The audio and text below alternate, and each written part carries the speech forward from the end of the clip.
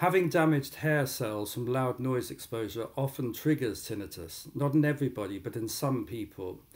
Into the sudden gap that the hearing loss creates, tinnitus often appears as a compensatory reaction.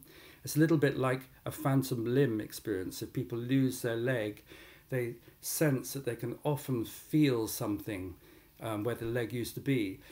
And where the hearing used to be, in a part of your auditory experience that was lost, tinnitus often appears like a, a phantom hearing experience, so to speak. But this is not the end of it. It's in a way it's just the beginning, but an awful lot can change. I come across a lot of people who get very hung up on this damaged hair cell business and think that that's the end of it. It's not. It's a temporary trigger which activates this tinnitus response and when your system settles and you refocus and your whole attention shifts, and if you have cranial work that works directly on the buzzy charge that's in the auditory structures, if you can release that, then the tinnitus can back off. Of course, you can't do anything about damaged hair cells, not as far as I know. Hopefully, at some stage in the future, this might be possible.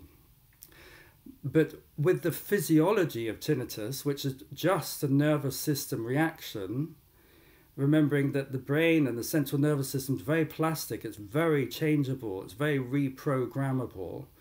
If you take the attention off your tinnitus, settle your nervous system, and have direct, immediate, hands on treatment to help the physical, buzzy, pulsing charge release and disperse, this can have a dramatic impact on tinnitus. I got rid of my tinnitus after cranial sacral therapy and also changing my diet. And then I stupidly walked in front of a loudspeaker at Notting Hill Carnival and damaged my right ear. And now I am now severely deaf in this ear. And so after years of no tinnitus, for six weeks, I had tinnitus again. It was quite bad immediately after the loud noise exposure, but it took me about six weeks to get rid of it. So, this is a direct example of damaged hair cells causing tinnitus and then being able to get rid of it. And the way I got rid of it was having regular cranial sacral therapy sessions to discharge and release the structures.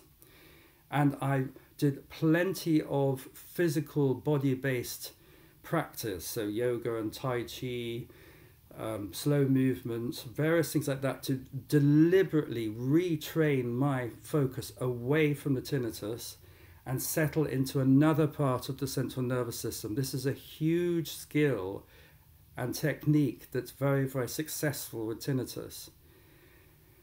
And the, the the noise-induced tinnitus backed off gradually over the course of six weeks.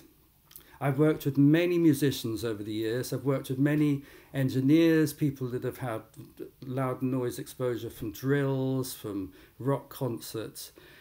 And there isn't any kind of tinnitus that can't back off.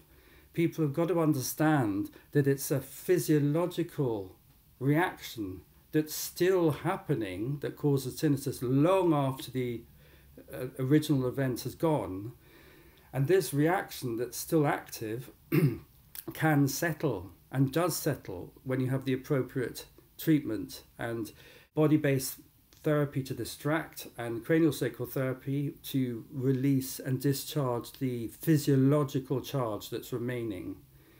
So, yes, hair cell damage is a common trigger for tinnitus, but please know that it's not the end of the story. It's you depending on what help you get and how you manage it and your emotional responses, your tinnitus can back off completely.